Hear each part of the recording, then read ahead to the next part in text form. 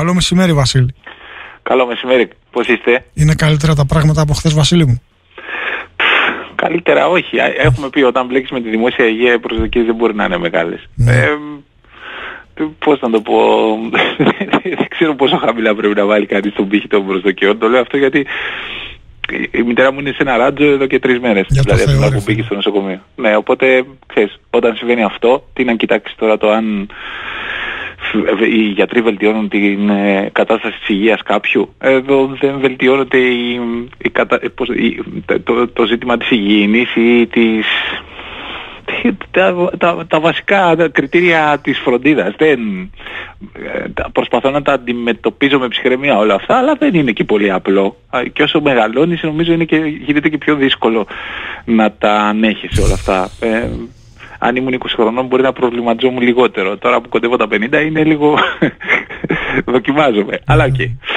Ας το αφήσουμε στην άκρη. Πάνω στην κουβέντα που έκανες προηγουμένως θέλω να πω ότι κοιτάζω το, το βάθος του βαθμολογικού πίνακα και λέω ότι συγκριτικά με αυτά που περίμενα είναι περισσότερες οι ομάδες που λες ότι με αυτά που μας έχουν δείξει τα πρώτα 8 παιχνίδια ε, μας έχουν δημιουργήσει την εντύπωση ότι θα κινούνται μεταξύ φθοράς και αφασίας στη σεζόν και άρα θα γίνονται μάχες μεταξύ τους. Τον περίμενα μικρότερο τον αριθμό. Ε, γιατί τον περίμενα μικρότερο, γιατί περίμενα ότι θα έχουμε δει καλύτερα πράγματα και κυρίως ότι θα έχουν συγκεντρώσει περισσότερους βαθμούς και ο Όφη που είναι αρκετά χαμηλά ε, σήμερα Μμμ. ε, και ο Ιωνικός. Ε, και, και για τις δύο αυτές ομάδες είναι μέχρι εδώ η, ειδικά η βαθμολογική τους συγκομιδή ε, είναι μια δυσάρεστη έκπληξη για το πρωτάθλημα. Μμμ. Ε, α- αντίθετα η ομάδα που μέχρι στιγμής μου δημιουργεί την αίσθηση ότι μπορεί και να μην ταλαιπωρηθεί ενώ περίμενα ότι θα ταλαιπωρηθεί είναι η Λαμία. Ε, μου φαίνεται δηλαδή μια ομάδα πιο στιβαρή για να μείνει στην κατηγορία που δεν θα κάνει εύκολα νίκες αλλά που δεν θα χάνει και όλα τα παιχνίδια και άρα σιγά σιγά ακόμη και μέσα από τις ισοπαλίες ε, μπορεί να, να χτίσει μια συγκομιδή που να τη βοηθήσει ε, να, να μείνει πιο εύκολα στην ε, κατηγορία. Τώρα βέβαια με, τα- όλα αυτά τα λέω με βάση ό,τι έχουμε δει και ό,τι έχουμε προλάβει να καταλάβουμε για αυτές τις ομάδες στις 8 πρώτες αγωνιστικές και η αλήθεια είναι ότι δεν προλαβαίνω να παρακολουθώ όλα τα παιχνίδια όλων για να, να, να είμαι και απόλυτος πάνω σε αυτό. Μμμ. Η Λαμία με μένα μου μοιάζει πιο υποψιασμένη, ας το πω έτσι, για το τι σημαίνει να μάχεσαι για τη ζωή σου. Ε, πιο υποψιασμένη και στο επίπεδο της τεχνικής ηγεσίας, πιο υποψιασμένη και στο επίπεδο του ρόστερ. Δηλαδή, ήθελαν ε, λιγότερο χρόνο για να καταλάβουν πώς κάνεις επιβιώνεις στην κατηγορία και ήξεραν ότι δεν πεθαίνεις με την ισοπαλία. Ε, ο Ιωνικός με την περσινή πορεία ενδεχομένως. Ε, ο Όφη με τις προσθήκες και την οτροπία του project που ξεκίνησε ίσως. Ε, για αλλού ξεκίνησαν και αλλού η ζωή τους πήγε. Ναι, ε, δεν διαφωνώ. Ε, λέω ότι στην περίπτωση της ε, Λαμίας είναι, αν, αν παίζει ένα ρόλο, είναι η, η, η νοοτροπία που έχει ο προπονητής της, ο Τζαλούκα Φέστα που μας έχει δείξει ότι ξέρει να φτιάχνει ομάδες που αμήνονται. Το ζήτημα είναι το πόσο βρίσκει ισορροπία η Λαμία, δηλαδή πόσο καλά μπορεί και να, πόσο ενδιαφέρον μπορεί να έχει στο δημιουργικό κομμάτι το παιχνίδι της και δείχνει ότι όντως έχει δομήσει ένα ρόστερ με, που- με- όχι με κινησμό, με πολύ ρεαλισμό. Έχει ψάξει να βρει παίχτες που μπορούν να προσθέτουν ε, γκολ ε, και κυρίως έχει κοιτάξει το πόσο ε, αποτελεσματική μπορεί να είναι στην αμυντική της ε, λειτουργία. Είναι μια πραγματιστική προσέγγιση. Στον Όφη λέω ότι έχουν γίνει όλα λάθος. Έχει καθυστερήσει πάρα πολύ να σχηματίσει ρόστερ, έχει αλλάξει πολύ το ρόστερ, δεν...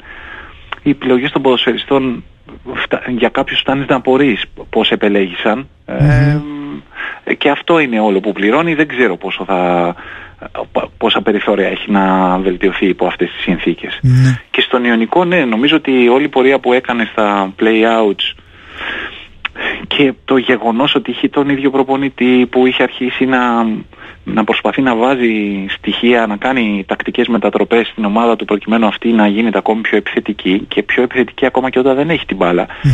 Ε, Ήταν πάρα πολύ ωραία αυτά που βλέπαμε πέρσι από τον Ιωνικό, ενδεχομένως να, να τους δημιούργησαν και μια ψευδέστηση ότι είναι ώρα να πάνε Να ένα αλλάξουν ακόμα επίπεδο. βήμα μπροστά. Ναι, ναι, ναι. και όλο αυτό μαζί με το, όλη την όλη σύγχυση σχετικά με τον Άουσμαν που έφυγε, στο μεταξύ ο Ιωνικός πήρε, έδωσε πολλά λεφτά για να πάρει, ίσως τα περισσότερα του λεφτά τα έδωσε για να αντικαταστήσει τον Άουσμαν, αποκτώντας τον ε, Μεντόσα που είχε κάνει πολύ καλά πράγματα πέρσι με τον Πανετολικό και εκ των υστέρων ο Άουσμαν επέστρεψε, επιβαρύνθηκε κι άλλο το budget, άρα δεν έκανε πολλά πράγματα στις άλλες θέσεις. Λέω ότι είναι μια ομάδα που δεν, και με βάση την εικόνα που έχει δείξει τα παιχνίδια της δεν είναι για να έχει μόνο δύο βαθμούς, αλλά το γεγονός είναι ότι τώρα έχει μπει σε πολύ δύσκολη θέση και όπως έλεγες αρχίζει κάθε ένα επόμενο παιχνίδι να έχει χαρακτήρα οριακό και μπορεί να έχει δημιουργήσει καλές εντυπώσεις απέναντι σε μεγάλους αντιπάλους, αλλά να τώρα εδώ δεν πήρε το ένα παιχνίδι με την, το εντός έδρας παιχνίδι με τη Λαμία. Αν δεν πάρει και αυτό εδώ το παιχνίδι την Κυριακή με τον Βασιάν, τότε μπλέκει ναι, ναι, η, η, κατάσταση. και, και πάντα επειδή εγώ θεωρώ ότι η νοοτροπία ξεκινάει από επάνω, δηλαδή από τη διοίκηση και ότι όταν η νοοτροπία διαχέεται μέσα από δημόσιες σχέσεις τότε αρχίζουν και συντονίζονται όλα τα ενδιαφερόμενα μέρη, δηλαδή όχι μόνο ο προπονητής και οι ποδοσφαιριστές, αλλά και το κοινό. Γι' αυτό θεωρώ, και τώρα πηγαίνω στον ΠΑΟΚ, ότι έχει μεγάλη, πώς να το πω σωστά, μια, έχει αξία που μπορεί να τη βρει μπροστά του ο ΠΑΟΚ, όση επικοινωνία κάνει με όλες αυτές τις δυσκολίες που έχει ο Ιβάν Σαββίδης σε σχέση με το πώς εκείνος στέκεται απέναντι στην εξέλιξη του φετινού έργου για τον ΠΑΟΚ, όλου αυτού του σχεδίου που έχει ξεκινήσει να υλοποιείται από πολύ νωρίς το καλοκαίρι. Δηλαδή το ότι δεν είναι απόν, γιατί κανείς θα πει σε σχέση με τη φυσική του παρουσία ότι παραμένει απόν. Και πράγματι δεν θυμάμαι ποια είναι η τελευταία φορά που τον είδαμε να στέκεται μπροστά σε μια κάμερα και να μιλά ή να μετέχει σε μια εκδήλωση της ομάδας και να τον βλέπουμε, να είναι, να είναι με τη φυσική του παρουσία εκεί. Όμως δεν είναι απόν στα, σε όλα τα κρίσιμα σημεία μέχρι εδώ. Γιατί το λέω αυτό, γιατί με έναν τρόπο επικοινώνησε μετά τον αποκλεισμό του ΠΑΟΚ από το conference ότι αναλαμβάνει την ευθύνη που του αναλογεί και ότι ήταν μια επιλογή που θα την στηρίξει με πράξεις και όχι μόνο επειδή επέτρεψε σε έναν προπονητή και έναν τεχνικό διευθυντή να πάρουν πάνω του την ευθύνη υλοποίησης αυτού του σχεδίου. Ε, εκ των υστέρων όταν άρχισε να δημιουργείται μια αίσθηση ότι ο Λουτσέσκο έχει πρόβλημα με τον τεχνικό διευθυντή, με τον Σεμπότο και δεν βγάζουν άκρη μεταξύ τους. Εμφανίστηκε ο Γιώργος Σαββίδης, βρέθηκε μαζί τους, βρέθηκε σε κρίσιμες στιγμές μαζί τους, δηλαδή μετά από την εντός έδρας από τον Παναθηναϊκό που ήταν ένα σοκ για, το, για την κοινωνία των φίλων του ΠΑΟΚ, για να δείξει ότι πράγματι η διοίκηση όλο αυτό σκοπεύει πραγματικά να το υποστηρίξει και δεν έλεγε λόγια ε, προηγουμένως. Και τώρα πάλι το ίδιο με το ότι θέλησε να επικοινωνήσει ότι είχε μια συνομιλία με τους νεαρούς ποδοσφαιριστές του ΠΑΟΚ πριν από το παιχνίδι με τον Ολυμπιακό. Ε, για μένα έχει την αξία του και τη σημασία του. Σίγουρα θα έχει ακόμα μεγαλύτερη αξία αν αυτό είχε συμβεί μετά από μια ήττα και όχι μετά από μια νίκη. Αλλά επειδή εγώ βλέπω μια σχετική συνέπεια σε όλο αυτό, λέω ότι είναι το καλύτερο που μπορεί να κάνει μια διοίκηση για να υποστηρίξει ε, ένα σχέδιο που το έχει βάλει σε λειτουργία. Γιατί όταν ε, μια διοίκηση σιωπά και είναι απούσα, είναι, ε, βγαίνει από το προσκήνιο και δεν παίρνει θέση, εύκολα η στάση της παρερμηνεύεται. Δηλαδή και από ένστικτο, δεν λέω ότι το κάνει κανείς εσκεμένα, αλλά αυτοί που, που συχνά αντιδρούν, εκδηλώνουν τη δυσαρέσκειά τους, θέλουν να εκδηλώσουν το γεγονός, θέλουν να επικοινωνήσουν το γεγονός ότι έχουν χάσει την υπομονή τους, ότι δεν, δεν βλέπουν όραμα σε αυτό που συμβαίνει στην ομάδα τους.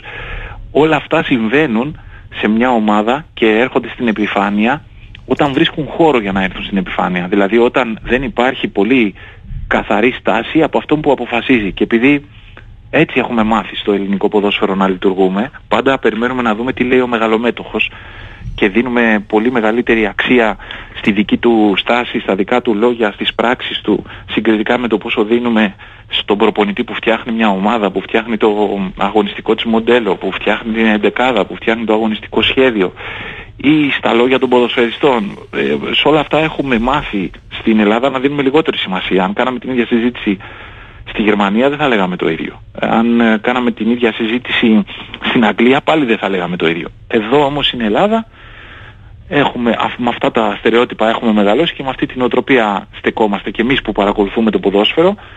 Άρα λέω ότι είναι, αυξάνονται κάθε φορά που ο Ιβάν Σαββίδης επικοινωνεί ότι όλο αυτό που συμβαίνει εκεί όχι απλώς το υποστηρίζει αλλά το εγκρίνει, είναι αυτό που θέλει να συμβαίνει στον ΠΑΟΚ και δεν αναφέρουμε στο αποτέλεσμα ενός αγώνα ούτε στην επιλογή του τάδε ή του δίνα ποδοσφαιριστή στο μεταγραφικό παζάρι γιατί όλα αυτά είναι δευτερεύουσα σημασίας. Το κύριο είναι το πόσο συνειδητά έκανε την επιλογή για αλλαγή στο επιχειρηματικό πλάνο το περασμένο καλοκαίρι, στο ποδοσφαιρικό τμήμα, γιατί είναι πολύ καθαρό ότι έκανε μια επιλογή να αλλάξει το επιχειρηματικό μοντέλο.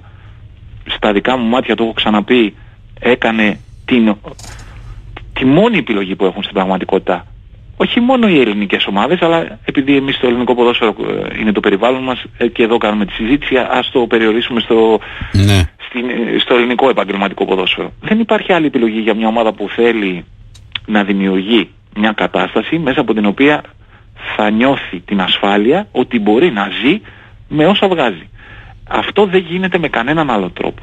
Δηλαδή με ποδοσφαιριστές που είναι κοντά στα 30 τους χρόνια μπορεί να μπορείς να κατακτήσεις τίτλο που και αυτό έχει μια επιχειρηματική αξία. Γιατί φέρνει έσοδα, ε, φέρνει προσδοκόμενα έσοδα, ε, έχει προσθέτει υπεραξίες που είναι σχετικές με την εμπορικότητα ενός συλλόγου, με το marketing που κάνει, με το πόσο ακριβά πουλάει δηλαδή την ονομασία του, το έμβλημά του, ε, τα προϊόντα του κτλ. κτλ. Όλα αυτά λοιπόν έχουν αξία. Αλλά προοπτική ε, ε, ευημερίας δεν δημιουργούν. Γιατί ε, την, την προοπτική να ζει κάθε χρόνο μια ομάδα από τα έσοδά της τη δημιουργεί κανείς μόνο αν αρχίσει, αν έχει βάλει τις διαδικασίες ώστε να δημιουργεί μεγαλύτερες υπεραξίες από αυτές που έχει όταν συζητάμε για τους ποδοσφαιριστές δηλαδή να παίρνει παίκτες που σήμερα κοστίζουν 100.000 ευρώ και να υπάρχει η διαδικασία που εγγυάται ότι κάποιοι από αυτούς μετά από διάστημα ενός, δύο, τριών ετών θα έχουν πολλαπλασιάσει την υπεραξία τους και άρα στο διάστημα που έχουν μείνει στην ομάδα θα συνεισφέρουν σε, σχετικά με την επίτευξη των αγωνιστικών στόχων και μετά από δύο ή τρία χρόνια θα συνεισφέρουν επειδή θα φέρουν στα, στο ταμείο πολύ περισσότερα χρήματα από όσα θα έχει επενδύσει πάνω τους μια ομάδα για να τους αγοράσει και να τους ε, εκπαιδεύσει προκειμένου να τους βελτιώσει.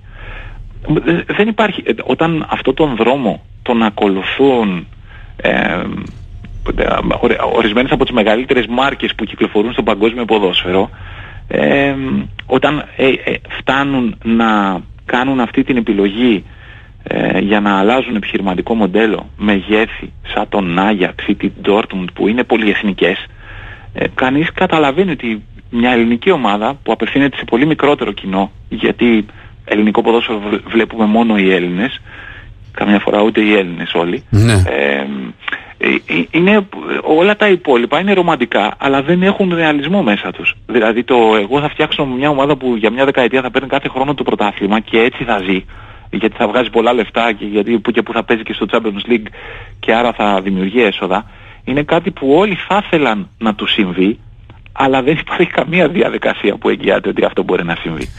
Ενώ το φτιάχνω τη διαδικασία για να βάζω στην ομάδα μου, στην πρώτη ομάδα, ποδοσφαιριστές κάτω των 23 ετών, δηλαδή παιδιά τα οποία μέχρι τα 23 τους έχουν δείξει ότι μπορούν να φτάσουν ε, να αποδίδουν στο υψηλότερο επίπεδο. Άρα μπορώ εγώ η ομάδα να περιμένω από αυτά τα παιδιά να πετύχουμε στόχους μαζί, αγωνιστικούς στόχους μαζί.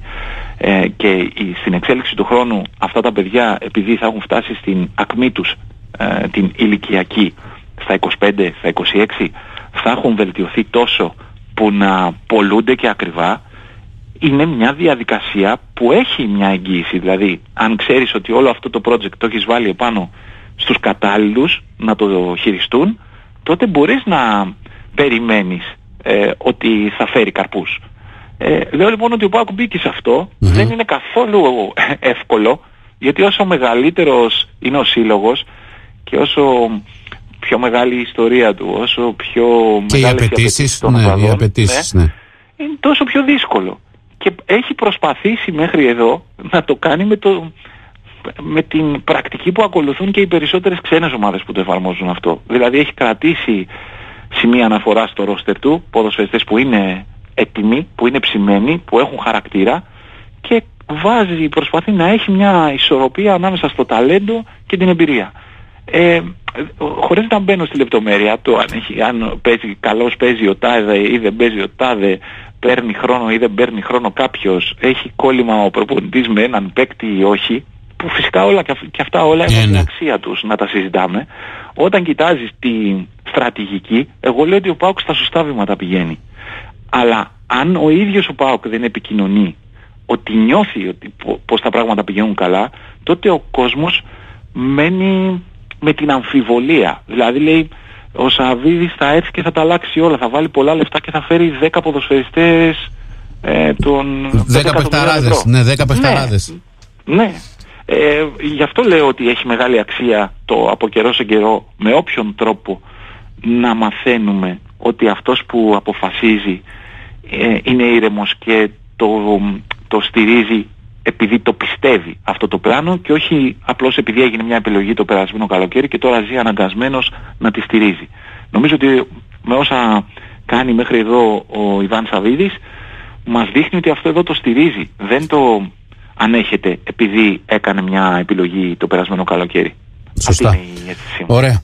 Έχουμε να πούμε βέβαια αρκετά και θα χρειαστούμε και περισσότερο χρόνο. Νομίζω ότι αύριο μπορούμε να ολοκληρώσουμε και Παρασκευή. Θα πούμε και για τα παιχνίδια, Βασίλη, έτσι είναι; Ναι, εννοείται. Αύριο πρέπει να κουβεντιάσουμε αρκετά για το Παναθηναϊκός Άρης, ένα από τα πιο ενδιαφέροντα παιχνίδια. Μάλλον, όχι μάλλον, το πιο ενδιαφέρον, το πιο ενδιαφέρον. Του, αυτής της αγωνιστικής. Να πω ότι και σήμερα μαζί μας ήταν το Isoflex PU500 που είναι η κορυφαία λύση στεγάνωσης ταρατσών από την Isomat. Ευχαριστούμε πάρα πολύ Βασίλη, θα τα πούμε και αύριο. Και εγώ ευχαριστώ παιδιά. Να σε καλά, να σε καλά.